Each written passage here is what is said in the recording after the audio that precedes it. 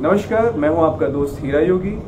आज मैं आया हूँ हरिद्वार कनखल। एक ऐसी दिव्य जगह, इतनी जहाँ पर प्रकाश ही प्रकाश है, उज्ज्वलता ही उज्ज्वलता है, और योगियों की भूमि तो है ही, हरि की भूमि तो है ही। और आज मैं हूँ एक माता जी के आश्रम में, श्रीमती श्री श्री आनंद मूर्ति माता जी ये कनखल में इनका निवास है। इन्होंने अपना शरीर, जो इनका समाधि स्थल है, वो यहाँ पर है। और आज मैं मिला हूँ इस आश्रम के अंदर में एक ऐसे दिव्य व्यक्ति से ये ब्रह्मचारी जी हैं जो मेरे साथ बैठे हुए हैं। तो ब्रह्मचारी जी, आपको मेरा बहुत बहुत प्रणाम। मैं हूँ एक योग शिक्षक। आपसे बात करके मुझे लगा बहुत बहुत आनंदित। तो आप से कुछ आपके जीवन के बारे में मैं जानना चाहता हूँ। तो कृपया आप हमें बताएँ। हमारा जीवन के बारे में कौन सा बता दीजिए जीवन में जैसे कि गुरुजी आप स्ट्रगलिंग ऑफ़ लाइफ और एनी जॉब लाइफ और स्ट्रगलिंग लाइफ और एनी प्रोफेशनल लाइफ कुछ yeah I have I, really want to know about the professional life because when I meet you so you feel I feel so much energies from your side so हाँ। it ये तो मैं समझ गया कि आपने बहुत सारी चीज़ों का त्याग करके इस ब्रह्मचर्य का हाँ। इस ब्रह्मचर्य मार्ग को आपने ज्ञात किया तो आप इसके बारे में कुछ बताएँ कि जो स्ट्रगल लाइफ होती है यूथ के लिए सो हाउ के आजकल का जो युवा है घबरा जाता है स्ट्रगल हाँ। को देखते ही। हाँ। दे- आपने देखा ही होगा वो नशे के एडिक्टेड हो जाते हैं। They going for a suicide doing another bad activities. Right, right. so you just suggest the simple words जो जन साधारण तक पहुँच पाए कि इनको जो स्ट्रेस हुआ और भी बहुत सारी चीज़ें प्रॉब्लम आती है उनसे कैसे निकले? देखिए मेरा तो अभी उम्र हुआ करीब 72 सो नाइस आप लगते नहीं 72 के। तो मैं कंचन ब्रह्मचारी हूँ। तो माँ आनंदमयी का कृपा में मैं हरिदल हूँ। तो बचपन में जो मेरा उम्र थे छः साल उसी टाइम में मेरा मौसी हाथ पकड़ के ले गया था माँ के पास कलकत्ता में। कोई जगह में सत्संग हो रहा थे। उन्हीं माँ को मैंने पहले देखा। वॉज़ पाँच तनरा एंड माँ का कृपा जैसे कि मेरा मौसी को मिला। From that inspiration I struggle my life मेरा मसीह को बहुत दुखी लाइफ था। उनका जो 16 साल का उम्र था, उनका शादी हो गया था। जो उनका, उन्होंने जब प्रेग्नेंट थे, उसी टाइम में उनका स्वामी का गुजर हो गया। उसी वक्त उनका ससुराल से उन, उनको हटा दिया कि ये ये अमंगल है विच है वो ऐसा भी होता था। तो वहाँ से मसीह को हटा दिया। उस टाइम में इंडिया पाकिस्तान को जो लड़ाई हुआ था पार्टीशन हुआ था तो उनका पिताजी बांग्लादेश से तो कलकत्ता चले। किराए में घर लिया थे। और मसीह को जो ससुराल से हटा दिया तो उन, उनका पिताजी के घर में उन्हें गए थे। पिताजी भी उनका हटा दिया तो उनका बच्चा को लेकिन ससुराल में छोड़ने पड़ा कि वो लोग उनका पढ़ा लिखा के पूरा दायित्व ले गए। Right. इसी वक्त मासी को तो उनका पिताजी भी घर में नहीं रहने दिया। तो इधर उधर करते हुए हम लोग को घर में चले हम लोग वहाँ उनको थोड़ा सेवा किया। वो अच्छे भजन जानते हैं। अच्छी सिलाई जानते हैं अच्छी कुकिंग भी जानते हैं। हम्म। इसी तरीका मासी का साथ बहुत धर्म परायण थे। बहुत उन्होंने कीर्तन भी करते थे। तो मासी माँ नंदमी के पास बराबर जाते हैं जबकि दुख मिलता है। उसके बाद में उसका लड़का जो आस्ते आस्ते पढ़ा लिखा करके इंजीनियर बन गया तो हम ही लोग मिलजुल कर उसको शादी का बंदोबस्त किया। तो हम ही लोग को बोला कि है माँ बेटा एक साथ में रह जाओ बहू को लेकर के। हम्म। तो कुछ दिन बहू को लेकर के वो मेरा वो दादा मसीह के साथ थे। बाद में दादा बोला नहीं ये तुम माँ तो आश्रम में चला जाओ क्योंकि ये आनंद मूर्ति माता के आश्रम में। हाँ। जी। तो ऐसे भी दुख का बात आए जो मसीह को अलग से घर में वो ऐसे कोई अलग करके रखे थे जी। उनसे उनका जो क्या बोले जी उनका बेटा का जो बेटा होता है छोटे वाला जी। उससे भी मिलने नहीं देते थे। हम्म। तो अपने एक कमरा में उसको अलग करके रखते थे। तो मसीह को बहुत दुख लगा इस संसार जीवन में मेरा को कोई स्थान नहीं है। तो फिर मसीह को उनका बेटा आश्रम में भेज दिया। इतना दुखी होते होते मसीह बहुत तरीका हम लोग को बहुत से रिलेटिव से बहुत तरीका उनको लात मिला है। जैसे कि कुत्ते के माफ़ी हो सकते हैं लेकिन उसी वक्त अगर कोई औरत होता तो सुसाइड कर लेता। लेकिन उन्होंने माँ को पकड़ के रखे सुसाइड करके इसका कुछ तो महाराज जी मुझे लगा कि आपने एक बात बोलाई जैसे जब जीवन में परेशानी आती है हम्म। और आपको एक अच्छा गुरु मिल जाए हाँ हाँ। तो गुरु आपको उस भव सागर से पार कर देता है राइट राइट एक हंड्रेड सो हमारे जो यूथ में जो प्रॉब्लम हो रही है सबसे बड़ी प्रॉब्लम यही है कि वो सेटिस्फाई नहीं हो पा रहे हैं। प्रॉब्लम में आगे अपने ये जी यूथ को डाइवर्सिफिकेशन यूथ को जो अभी मेंटल का वाइब्रेशन चल रहा है राइट वही वाइब्रेशन को सही निशाना कोई नहीं दे सकता है। जो लीडर्स लोग हैं other than religious leaders right they are motivating the youth in the politics. Right they are brainwashing the youth in the politics. So actually जो स्पिरिचुअल थिंकिंग स्पिरिचुअल जो भावना होते हैं राइट स्पिरिचुअल में जो आपको आत्मा को जो स्ट्रेंथ मिलते हैं वो युवा लोग को नहीं मिलते हैं। Ultimately they are going for addiction with addiction I mean some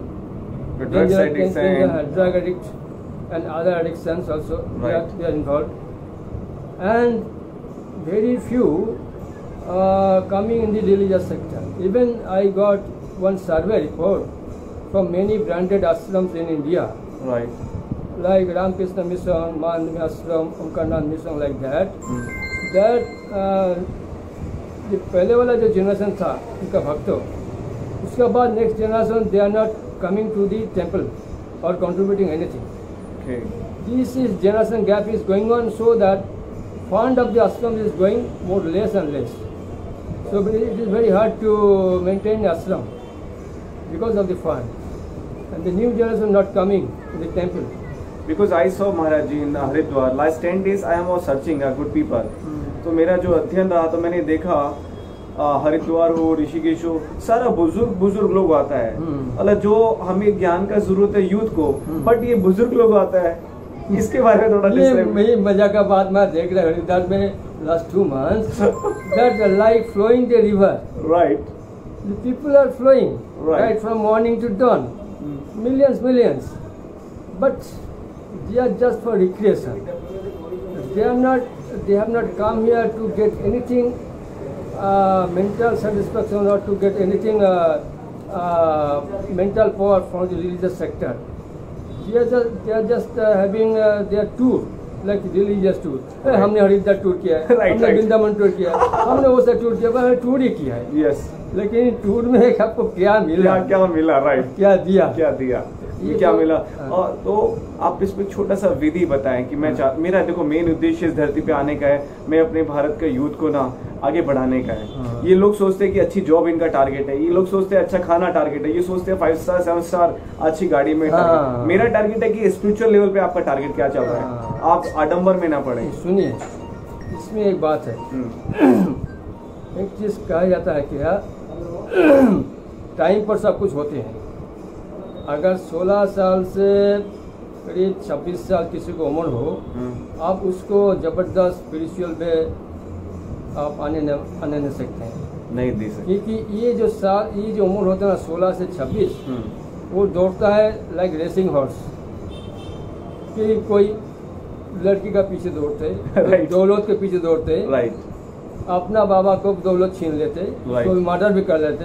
अब देखता ना न्यूज़ में बहुत कुछ निकलता है। हाँ।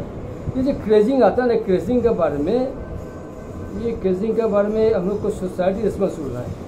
और उनका परिवार भी रिस्पॉन्सिबल है। क्यों? कि परिवार बचपन से लड़का लड़की अपना लड़का लड़की को दौड़ने बोलता है। तुमको फास्ट होना चाहिए। तुमको दौलत दौलत बनाना चाहिए। तुमको इंजीनियर बनाना चाहिए। तुमको बहुत कमाना चाहिए। तुम मेरा करवा में रह जाओ। बहुत कमाओ बहुत कमाओ, ऐसे ऐसे। मतलब it means the reason is the parents बच्चों में mainly because the if you uh, if you plant any tree in a pot and by caring you the tree will flourish with blossom of flowers and fruits and that caring from the right bottom of the caring is the family. The first guru of the life is the parents, mainly माँ माँ बाबा को सिखा पहले तरफ़ गुरु होता है ये जोड़े गुरु होता है। ये गुरु बचपन से जो उनका अपने बच्चों को जो सिखाएगा वो इसी तरीके चलेगा राइट आज उसको बुरा सिखाएगा तो बुरा साइड मतलब आप कहना चाह रहे हैं कि हम लोग हमने बच्चों को एक भाग दौड़ बड़ी ज़िंदगी में खुद क्रिएट किया है बचपन से हाँ हाँ उसके बाद में तो जो सोसाइटी में चला जाता है वो आउट ऑफ़ कंट्रोल ऑफ़ मेरे पेरेंट्स हो जाते हैं। जी। जैसे कि हम ही लोग को परिवार में बचपन से देख रहा है मेरा घर में कीर्तन हो रहा है। मेरा घर में धर्मियों रिलीजियस लीडर आते हैं उनसे कुछ बात सुनते हैं भगवान के बारे में। ये होते होते हम लोग को वातावरण से आ गया था जैसे कि एक कलाकार सोचिए कि संगीतकार। उसका घर में जो संगीत बराबर होते हैं सुबह शाम से तो उनका घर में जो बच्चे उच्चे है ना तो सबको भी संगीत में धन आ जाता है। कि हम भी संगीत संगीतकार बनेगा हम भी कुछ ना कुछ बनेगा। आप देखिए जितना कलाकार है उनका परिवार को परम्परा सब होते हैं। राइट राइट राइट परम्परा होती है। Because the environment they have created इसी वातावरण होना चाहिए। कोई फैमिली का बच्चों को हर टेंपल में लेके जाना उसको अच्छा अच्छा बढ़िया किताब लेके देना है। जैसे कि अब हम लोग को इंडिया में गीता प्रेस बहुत बढ़िया बढ़िया किताब बना हुआ है सस्ता में। वो कोई नहीं पढ़ता फैमिली पेरेंट्स लोग कोई भी खरीदते हैं, बच्चे लोग नहीं इवन देते। गुरुजी पेरेंट्स ही नहीं पढ़ते हैं। बच्चे क्या पढ़ेगा? हम लोग को गीता प्रेस का बहुत कम कंट्रीब्यूशन है इस बारे में। बहुत कम थी पैसा में तीन रुपये दो रुपये में अच्छे से बढ़िया किताब लोग पब्लिश किया है। तो सबको पढ़ना चाहिए। मैं तो खुद अपना खरीद के विलेज में जाते हैं तो गरीब आदमी को ऐसे बांटते हैं। मैंने बहुत बांटा है अभी तो बांटते हैं। हाँ। तो ये तरीका बात है जी जो मैंने जिसको जो मैंने वातावरण धर्मीय वातावरण कुछ जिस जगह में रिमोट में नहीं पहुँचा था और रिमोट में नहीं जाते तो एफ्लुएंट सोसाइटी को तो वो तो आसपास में एफ्लुएंट सोसाइटी तो वो धर्मीय पुस्तक तो छोड़ी पड़ता है धर्म का वो क्या करे उसमें क्या? तो आप इस चीज़ में छोटा चीज़ बताइए अब हम आपसे थोड़ा सा बस कुछ कुछ एक लाइनों में आप हमें बताइए कि यूथ को क्या करना चाहिए उनके पेरेंट्स को क्या करना चाहिए बस थोड़े से शब्दों में जो समझ जाए। देखिए यूथ को क्या करना चाहिए क्या करना नहीं चाहिए इस बार में एक ही एग्ज़ाम्पल है। अगर आप नाव में नदी का नाव में नौकों से जा रहे हैं तो नौका जो चलाने वाला जो कैप्टन है वो तो जैसे नाव के चलाएगा तो उसी चलेगा। और नाव में जो बैठा है वो तो कुछ नहीं जानते हैं। तो पिता माता को वही नाव का जो ये चलने वाला तो पिता माता उसमें रेस्पॉन्सिबल है। नाव को आप जिस तरफ़ चलाएगा उसे चलेगा और नाव के जो यात्री बैठा है वो तो उसी तरीके फॉलो करेगा। राइट बात वही है आपका किचन में जो भी आप खाना पकाएगा अब जैसे उसमें केमिस्ट्री डालेगा वैसे बना होगा। राइट हाँ? तो मेनू आप देखेगा वैसे बना होगा। तो बुरा बनेगा बुरा होगा और अच्छे अच्छा ही होगा। ये वेरी प्रैक्टिकल है। ट्रू मेरा अगर लाइफ में कितना दिक्कत हुआ मैं यहाँ तक पहुँच नहीं सकता जब मैंने सुसाइड कर लिया था। इन 1998 99 तो मेरा को 35 ईयर्स का किताब का बिज़नेस थे। जो वो चौपाट हो गया। बहुत सारे मेरा को पौना दम मेरा पीछे लगे मेरा नॉट नाइट नाइट मेयर हो गया थे। तो मैं क्या कर सकूँ? मैं तो कोई बुरा काम नहीं किया। लेकिन उसी टाइम में मेरा कोई दोस्त ने बताया कि तुमने सुसाइड कर लिया तो हम लोग दो चार दिन हम लोग रोएगा। उसके बाद में सब भूल जाएगा। यू सर्वाइव यू सर्वाइव तो सर्वाइव के लिए मैं सोचा, अगर स्ट्रगल तो आ गई one after another we have to survive because मेरा को ये मेरा कोई सोचना था कि दिमाग में मैंने देखा ही अगर स्ट्रगल को सर्वाइव कर लिया ना, उसमें जितना आनंद मिलता है दूसरों को बोला जाता है how I have been survive survive होना चाहिए स्ट्रगल तो आएगा, जैसे कि हम लोग का क्लाइमेट स्टॉर्मिंग आएगा। स्टॉर्मिंग आएगा हीट भी आएगा, लेकिन we have to survive every season you can surrender अगर बारिश होगा तो छत्ता पकड़ने पड़ेगा। थंडरिंग हुआ तो घर में छुपा कर रहने पड़ेगा। तो सर्वाइव के लिए सब कुछ करने पड़ेगा। लेकिन सर्वाइव के जो आप सोचिए कि आप नाव में जा रहे हैं, बहुत ज़्यादा से स्टॉर्मिंग होगा। आप नाव इधर उधर इधर उधर तक डूब नहीं सकते एनी मोमेंट अगर आप सर्वाइव के लिए, आप जानते हैं, आप सुपर पावर को पकड़ लीजिए। कि हमको पहुँचा दो। हम लोग को पहुँचा दो तीर पर। हम लोग को बचाओ। अगर सुपर पावर को बचा लिया देखिए उतना स्टर्मिंग में भी आपको जगह पर पहुँचा दिया। सो so, दोस्तों इन्होंने जो कहा है कॉन्फिडेंस आई हैव राइट जैसे कि मैंने ऐसे भी पहुँच गया बहुत जगह में। जैसे बहुत स्टॉर्मिंग मेरा लाइफ में आया। लेकिन जिसको लाइफ में स्टॉर्मिंग नहीं होता है उसको लाइफ के बारे में कुछ पता नहीं होता। सो so, मैं इन्होंने जो कि सिंपल शब्दों में जो कहा है कि अगर आपकी लाइफ में कोई स्ट्रगल आता है या कोई परेशानी आ जाती है तो आप नशों का सहारा ना लें। आप सहारा ले किसी स्पिरिचुअलिटी ट्री का, जिस प्रकार एक छोटा सा बेल एक ट्री के सहारे चलते चलते आगे चला जाता है। आप सहारा लें अच्छे सानिध्य पुरुषों का, अच्छे सानिध्य संतों का। संत का मतलब गेरु धारण करना नहीं है, ये याद रखिएगा। आपको कहीं भी किसी भी रूप में मिल जाएगा और वो आपकी ऊर्जा को गुरान्वित कर देगा, उसको और पावरफुल बना देगा। तो डिप्रेशन में मत जाइएगा कभी भी। लाइफ में स्ट्रगल आया तो उससे डरना नहीं, चाहे आप शादीशुदा हो चाहे आप बैचुलर याद रखिए चाहे हो आप बच्चे चाहे हो आप बूढ़े याद रखिए लाइफ में हर चीज़ का स्ट्रगल है हर का टाइप्स अलग अलग है। तो हर टाइप से इन्होंने कहा आप स्पिरिचुअलिटी को पकड़ी और हर चीज़ ठीक हो जाता है। आप देखते हैं ना जब डॉक्टर किसी का ऑपरेशन करता है इलाज तो आखिरी में वो कहता है कि 90 परसेंट चार्ज है तो बाकी का भगवान बचाएगा इट मीन्स क्या? स्पिरिचुअलिटी हैव अ पावर याद रखिएगा आप जब अपने आप को प्रभु के समर्पित कर देते हैं तो आनंद ही आनंद आता है। थैंक यू दोस्तों आपने इसको बड़े ध्यान से दिया। ब्रह्मचारी जी आपको मेरा बहुत बहुत करवा निवेदन प्रणाम। आपका आशीर्वाद हम यूथ पर बना रहे। और ये बहुत ज्ञाता है आप कभी भी हरिद्वार आए तो कनखल में ज़रूर आए और आनंद मूर्ति माया माँ है आनंदमयी माँ है आप इनके आश्रम में ज़रूर आए। यहाँ पे ध्यान बहुत अच्छा सिखाया जाता है। और इनसे अमल के तो ऑटोमेटिकली ध्यान लग जाएगा बाबा।